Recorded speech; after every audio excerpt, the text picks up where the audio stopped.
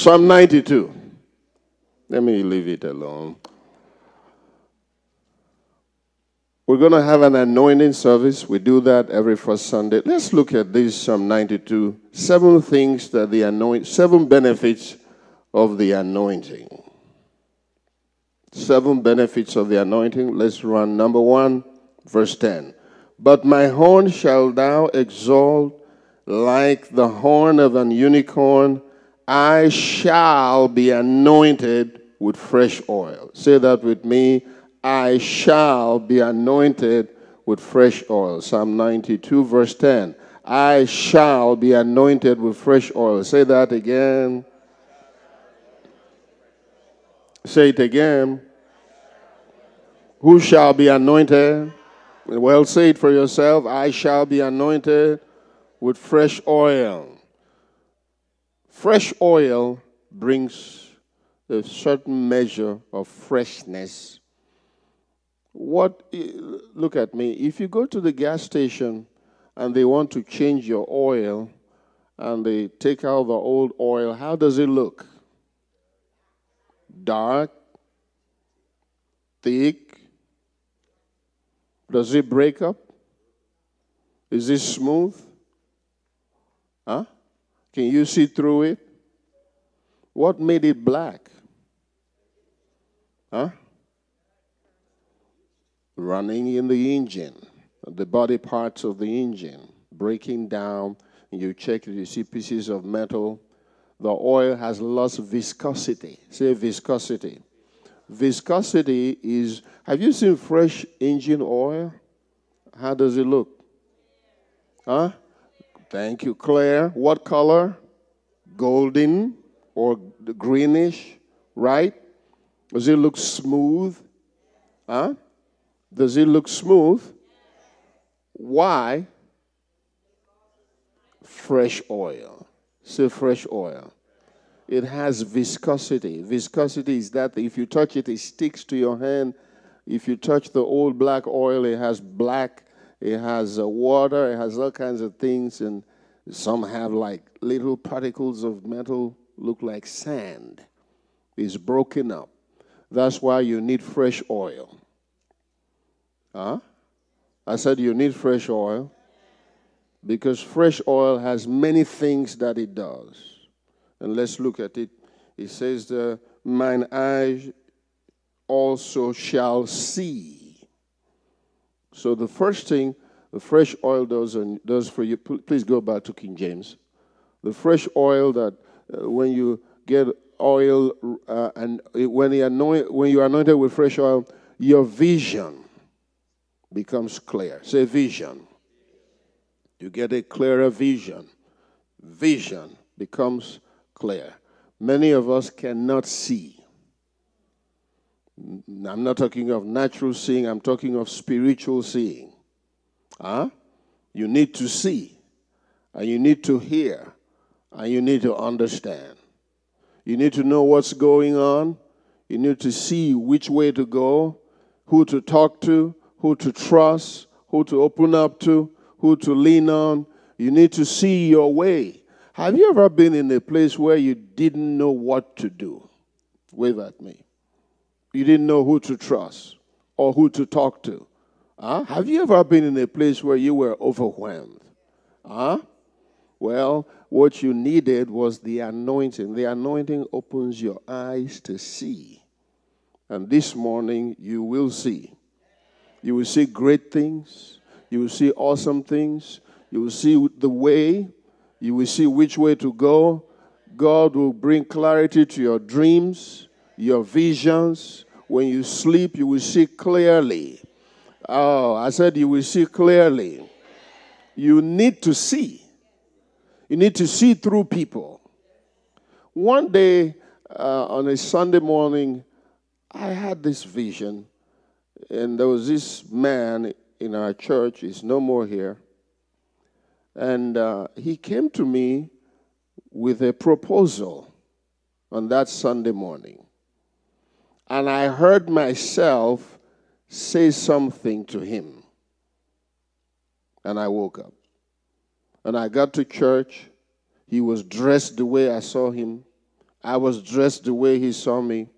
I saw myself. And he said exactly what I saw him in the vision say to me.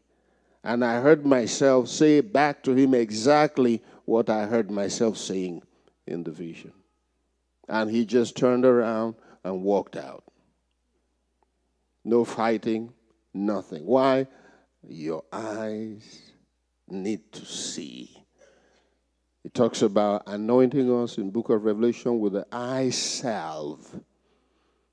Rub your eyes and say, These eyes will see.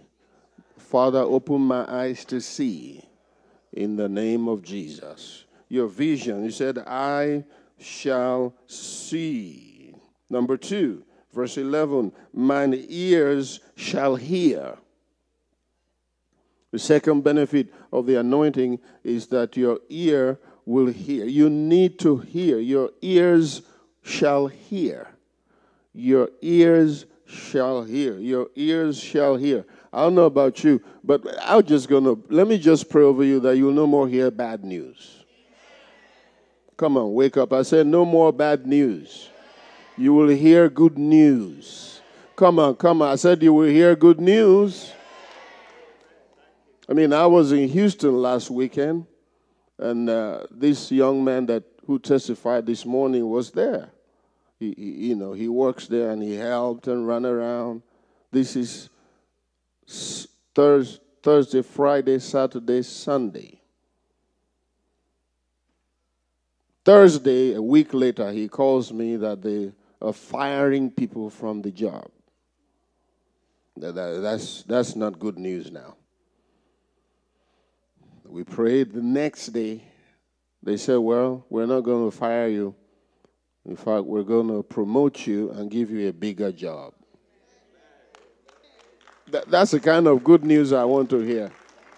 Come on now, if you want to clap, clap for Jesus. And uh, the other day I saw it on Facebook. Uh, one of, uh, I think, what was it, uh, Connie? You were the best student in. Uh? Stand up, stand up, darling. You got the what? The Golden GE graduate, GED graduate of the year. Huh? In the entire state of Georgia. At the age of what? What? Hold it. Huh? at 64. Come on, come on, come on. That, that, oh, yeah, that's the kind of good news. Uh, you're jealous. That's why you're not standing and giving God some glory. At 64, GED. Come on now. that's good news. She didn't tell me. I saw her on Facebook. I'm like, girl, go for it. Oh, she told me, I told you, Pastor. You forgot. You testified and you will testify some more. Say amen. You learn to behave. She said, I told you, but okay, you told me. All right, okay, okay. You will hear good news. I said you will hear good news in the name of Jesus. Verse 12 the righteous shall flourish. The third thing that the anointing does is that it causes you to flourish. Flourish like the palm tree flourish. We need to flourish, not just thrive, not just survive, not just uh, hope we make it, not just, you know, let's just keep it rolling. No, we're going to flourish, grow, be fruitful, overflow, have more than enough. Oh, say amen now. I said, we will flourish. Not just every first uh, five days of the month, just somehow the bills are paid. Thank God I have two cents left over. No.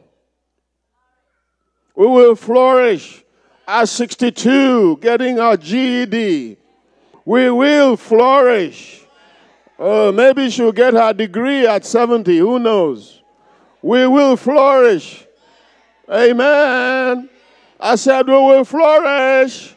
No more dryness, no more struggling, no more making do, no more looking for how we will make it. calling people unnecessarily, greeting people you have no business greeting, just so they can see if they can help you. We will flourish. Our cups shall be full. Our cups shall flow over. We will go to the ATM, withdraw money, forget it, and the money will be intact. $400 is a lot of grocery. We will flourish, overflow, have more than enough.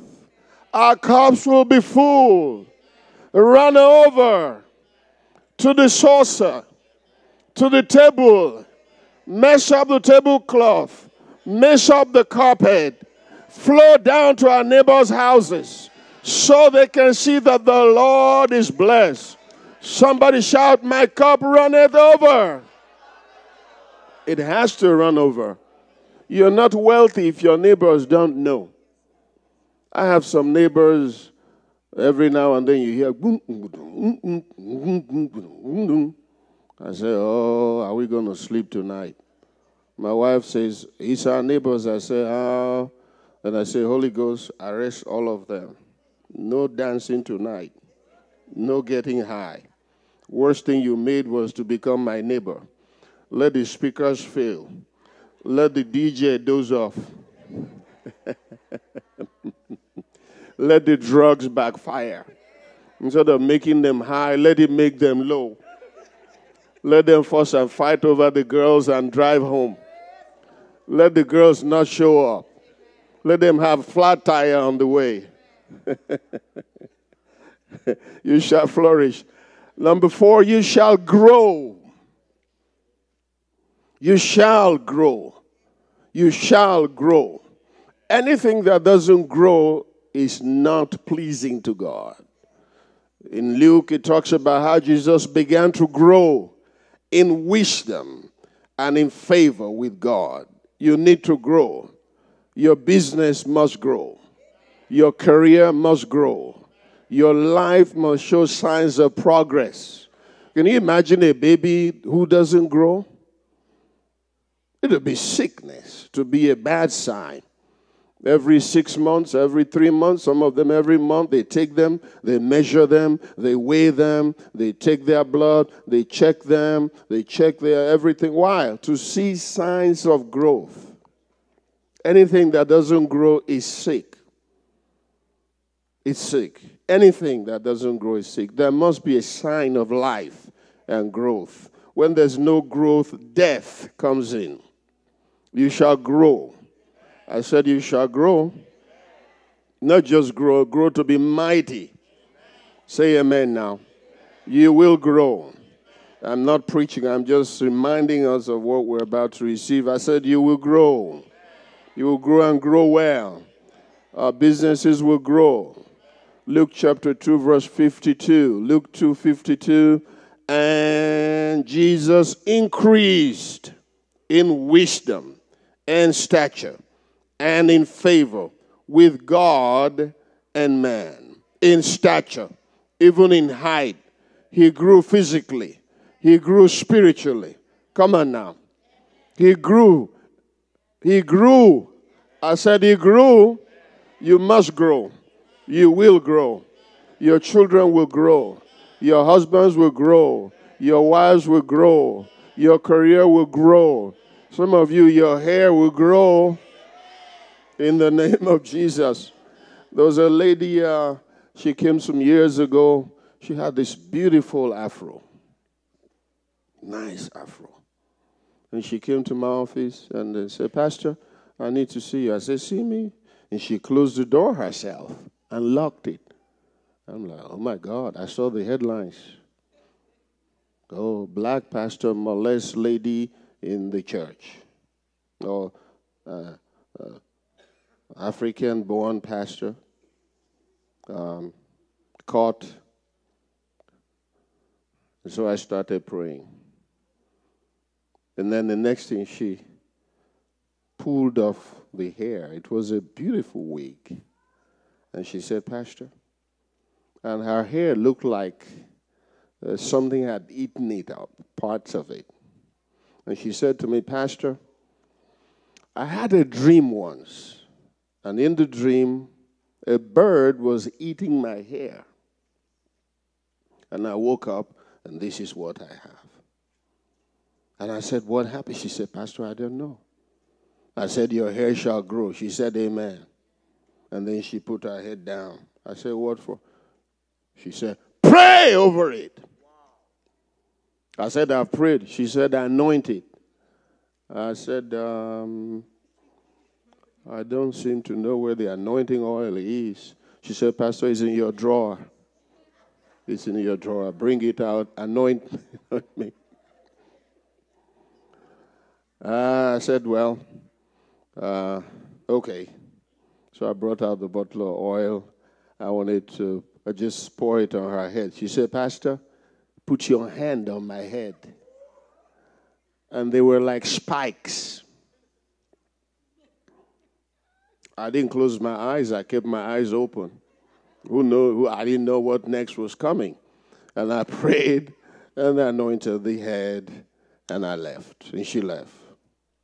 Probably less than three months later, she came in again. I said, Oh God, help me now. Is she going to ask for something else? And she pulled off the wig. Beautiful, black, thick, healthy, gorgeous hair. Yeah.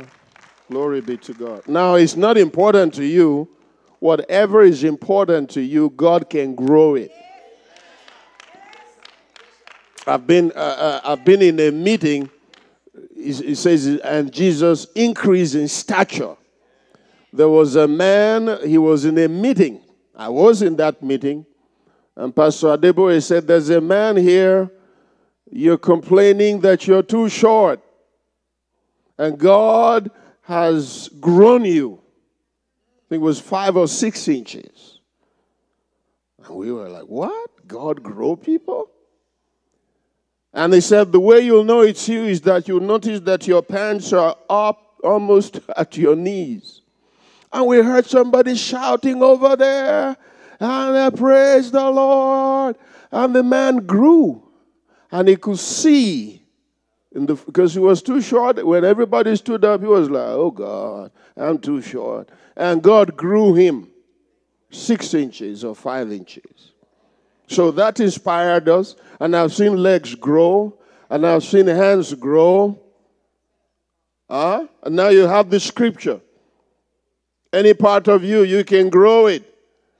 And I remember in that meeting, and the preacher said, There's a lady here, you said that your breasts are too small.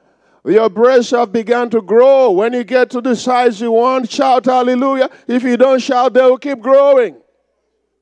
We were like, oh, come on, Pastor, be spiritual. And then we heard somebody shout, Hallelujah. And then the Lord said to Pastor Adeboye, There's somebody here, you say your breasts are too big. They're going to begin to shrink. When it gets to the size you want, say amen. If you don't say amen, they're going to all disappear. And we heard Hallelujah over the other side. God can grow anything. That's my point. Whatever you need, He will grow it. If you want new lungs, He will grow you new lungs, new knees, new kneecaps, new hands, new fingers, new hair, new skin. Come on, somebody. God will grow you. Growth by the anointing. Number five, I have two more and I'm done. God will grow you, and you need to grow. I said you need to grow. And then look at verse 13. Those that be planted in the house of the Lord. This is a part of what we're going to be talking about. You shall be planted. Number five, the fifth benefit of the anointing is being planted. You need to be planted. You need to be planted. Blessed is the man that walketh not in the counsel of the ungodly. Psalm 1, verse 1. Psalm 1, verse 1. Nor standeth in the way of sinners, nor sitteth in the seat of the scornful. But his delight is in the law of the Lord, and in his law doth he meditate day and night. Verse 3 And he shall be like a tree. Let's read it together. I want to go. And he, let me hear you, like a tree, rivers of water that bringeth forth his fruit in a season. His leaf shall not also wither, and whatsoever he doeth shall prosper. Look at the benefits of being planted. He shall be like a tree planted. Then, after he's planted, he can bring forth. He will not wither. And whatsoever he does shall prosper. No wonder many of us are not prospering because we're not planted. We're not planted. I met a lady in Minnesota. I went up to preach, to preach there some years ago. And she said, Pastor, pray. I heard that you were coming to Minnesota. I flew in from California.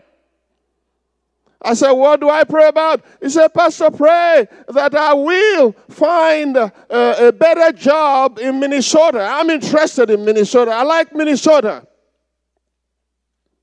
And I said, What do you do for a living? She told me. And she said, Pastor, I really don't live in any state long. I have lived in 18 states. 18 states? What are you looking for? Well, if I hear that there's extra money, I go there. If I hear that they pay better in California, California, here I come. If I hear that now they add another five cents in Minnesota, Minnesota, here I come.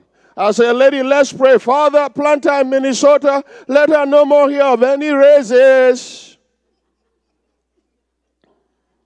18 states. Now, if the police pulls you over, where are, you go, where are they going to find you? You need to be planted. Some of us are not planted. In church, not planted. Today is with in life, not planted. In relationships, not planted. Oh, I don't like Joe. He's too short. Oh, I don't like Mike. He's too tall. Oh, I don't like uh, Sam. He, he, he, ain't got no pot pack. He got he got six pack. He, his stomach is too big. Oh, I don't like Joe. His nose is too big. Oh, I don't like John. He ain't got no job. What if he has a job? and is a six figure figure income salary, and after the wedding, they fire him. So you married him for his job? Oh, Pastor, oh, I'm not. Um, how about Jane? Oh, Jane, she fussing too much. How about Gloria? Oh, Gloria, Pastor Gloria. Oh, there's no glory in Gloria. How about Jemima? Oh, Jemima too fat. Oh, how about the Grace? Grace too short. Oh, how about uh, so who? Oh, I, I, just met this lady and she lives in Alpharetta. She has a car. She has a house. She's so cute. Oh, what if that cuteness disappears? This is the secret. Marry somebody who loves God. If they love God, they will love you. If they give to God, they will give to you. Don't marry for looks. I'm not saying marry somebody ugly, but marry for by, by the Spirit. Let God lead you. Beauty fades, money can go, jobs can be changed, things can happen in life, houses can get burnt up, rain, flooding can occur. Marry for the inner beauty that endures forever. I'm not saying bring me some ugly Joe from, you know, bring him up here, some washed up, uh, you know, broken down guy, Toyota not working, and have to pray for a new engine first. No, no. Bring me somebody who is in love with Jesus. Somebody in love with Jesus. Say amen. I saw a lady yesterday, and the Spirit of God came upon me. Never saw her. And I said, Young lady, you're in college? She said, Yes. I said, You're beautiful, yes, but beauty will fade. And you want to be a model. Finish your school, graduate, get your gra- degree. And her mother said, Pastor, he said, Sir, who are you? How did you know? I was just talking to her in the car driving to the, this place. Beauty will fade. Have you ever looked at the picture of your former boyfriend, girlfriend 20, 30 years ago? Let me go to the older. Have you looked at your the, the, the anybody? You're coughing suddenly? Okay. They're not as cute as you thought they were, right? Huh? Beauty will fade. The glory of God never fades. I shall be planted. I shall be stable. I shall prosper. From now on, everything you touch will prosper. Can you say amen? Lift those hands. Let me prophesy. Every hand lifted, Father, let them prosper. They touch certificates, they will prosper. You touch businesses, they will prosper. They touch babies, they will prosper. They touch new cars, they will prosper. Everywhere they go, these hands are blessed. Miracles, signs, wonders. Nothing you touch from now shall die ever again. Say amen three times. In the name of Jesus. All right. Are you getting anything? Are you getting anything? Okay. And uh, let's close verse 14. They shall still bring forth fruit in old age. This is the sixth benefit of the anointing.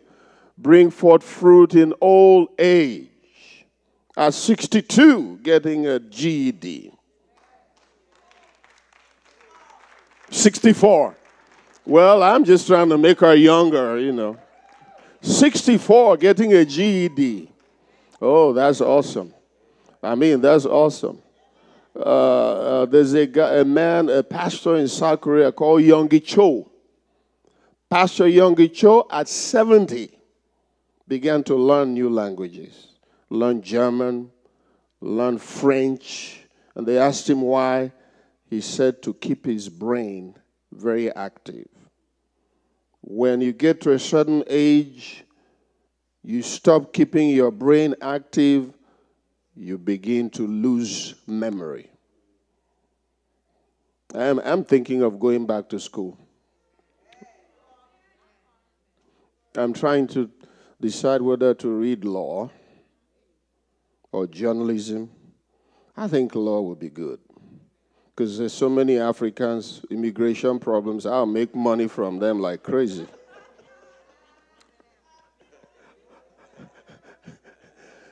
When they call with prayer requests, Pastor, they're about to deport me. I'll say, meet me up in my chambers instead of free counsel. They pay for it. There are too many people, and with this, this, this, this some of these politicians who are threatening to throw us out, well, you, you need an attorney. Just hire me. Oh, I'll make so much money off of you people, man. Amen. You need you need you need the anointing. You need the anointing. You shall bring forth fruit. And then number 7, they shall be fat and flourishing. That fat there doesn't mean natural fat. Isaiah 10 27, please put it up for me. They shall be fat they shall be fat. They shall be robust. They shall be thick. They shall be strong. They shall be strong. Ah? Huh? I said they shall be strong. Isaiah 10 27. They shall be strong. Which one do you prefer? A thin, sickly looking baby or a thick, healthy, hefty baby? Why? Because they are not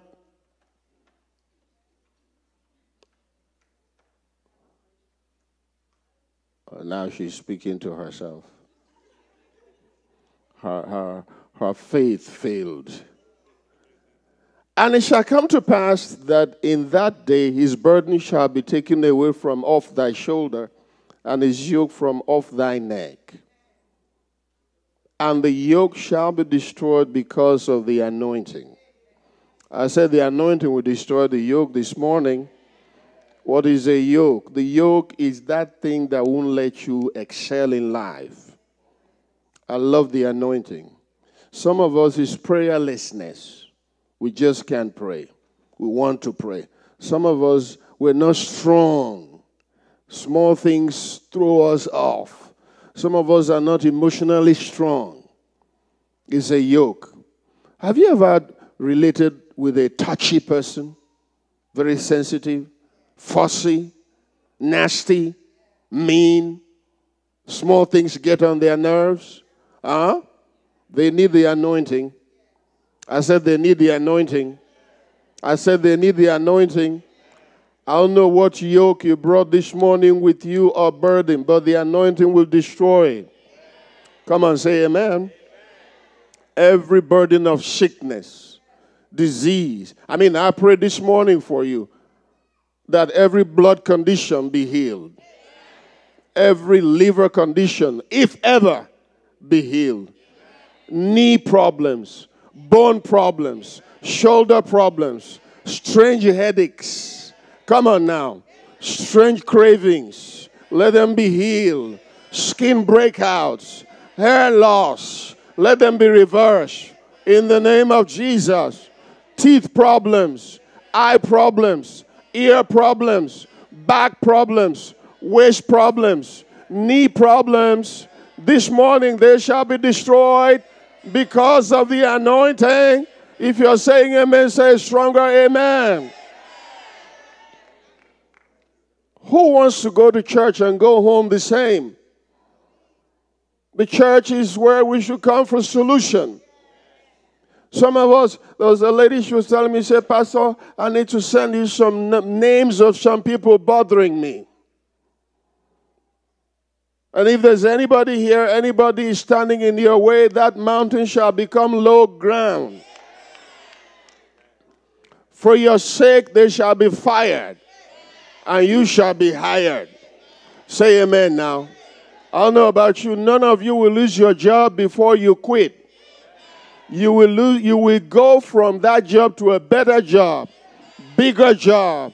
I don't know how many of you need to start your business, but before the end of this year, you will incorporate that business. You'll open the account. Clients will come. Contracts will come. Come on, say amen for your neighbor.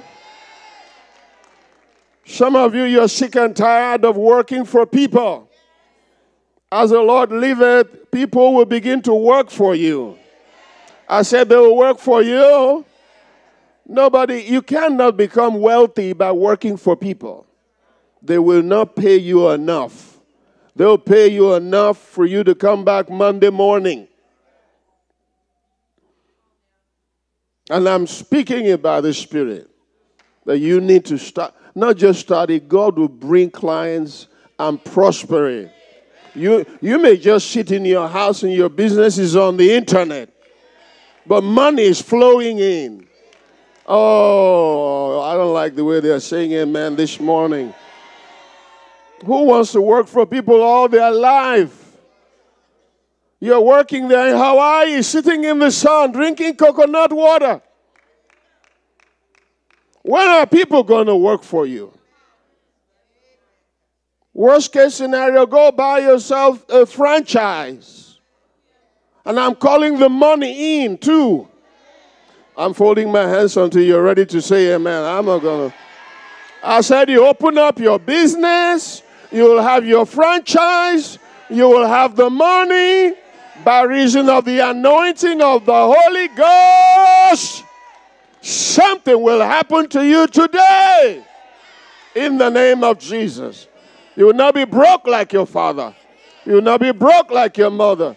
Uh, this paycheck to paycheck is a curse. We break it in the name of Jesus. Not having money to pay can buy things for your children and take them shopping. When last did you take your wife to a movie? Oh, I got there.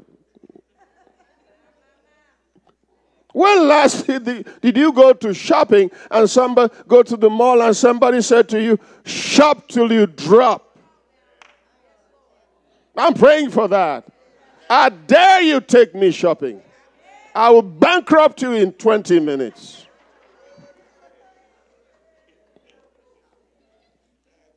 Glory be to God.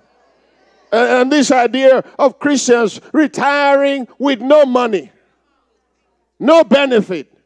And these heathen people threaten us. If you don't do this, I'll fire you. If you don't do this, I'll fire You're walking on eggshells in the office. Is anybody going through that? Those people making you walk on eggshells, they shall walk on no job shell. And you will be the boss. And you will fix your pay, fix your hours, free weekends, free evenings, high pay, extra bonus, paid vacation. And then you take your pastor and his family. You swim, I'll pray for you uh, in uh, the Bahamas. You go swim, I'll pray. I don't know how to swim. I don't want to swim. I just put my feet in the pool, safe in the hotel, just sit by the, just, you know, wet my feet and go back and keep praying for you. Amen. It's important for Christians to begin to make real money. Huh? Then we can talk. We can have influence. Huh? The Jewish people come, they take over. The Asians come, they take over. See, nobody talks about this thing in church. And we should talk about it. Huh? Because our children will take over. They will not go through all this. I beg to apply. Can you please 20 uh, resume all over? No! You start a business and the children will take over. And it will grow. Come on now. All this going to beg for money and no, no, no, no more begging. David said, I was young and now I'm old. I've not seen the righteous forsaking, nor their seed, their seed, their children begging for bread. Our children will not beg for nothing. Stand on your feet and give God praise. Hallelujah. I said, Our children will not beg. You will not beg.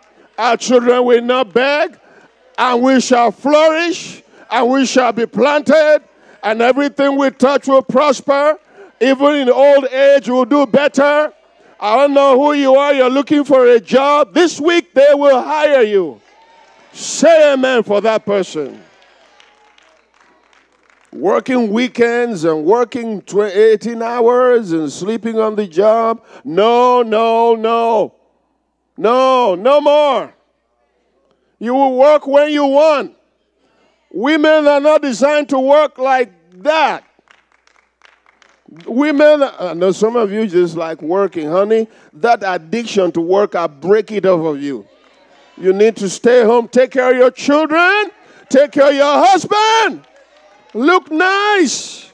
Fix your nails, fix your eyes, fix your hair, fix your skin, look pretty, look young, look good, make more babies. 18 hours, seven days a week. The devil is a liar. I said the devil is a liar. I don't know about you. No woman in this church is designed to work like that. Work and work and work till they drop. No, no, no, no, no. They work when they want they work how long they want. They work where they want. You're working and a heathen is threatening you. If you don't do this, I'll fire you. Every day they're writing them up, writing them up. Anybody tries to write you up now, the pen will break. The computer will shut down. The write up will fire. They'll put their name in your name.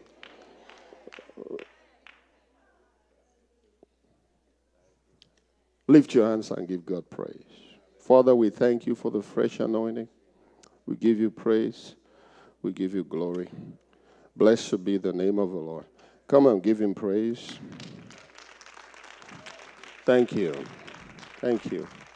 This month is your month of double grace. I said it's your month of double grace. It's your month of double grace.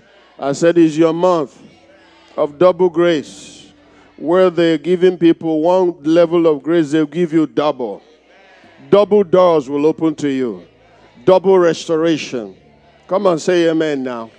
You need it. Double. They'll give you double portion, double for your shame, double for your trouble. Say amen now. Glory be to God.